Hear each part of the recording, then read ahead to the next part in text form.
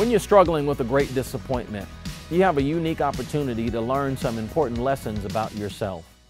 For example, you may learn that you are stronger, braver, smarter, and more compassionate than you once thought you were. You may also discover that your dream means even more to you than you previously realized. Working your way through this challenge may also adjust your priorities and your perspectives on life.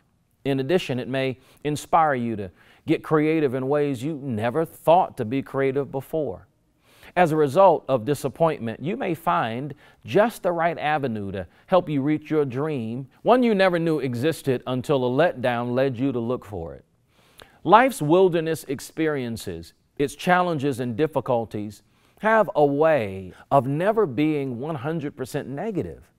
One of the best blessings they hold for us is the way they help us to grow, strengthen us in our identity, and prepare us for the future. Consider a disappointment in your past or one that you're struggling with right now.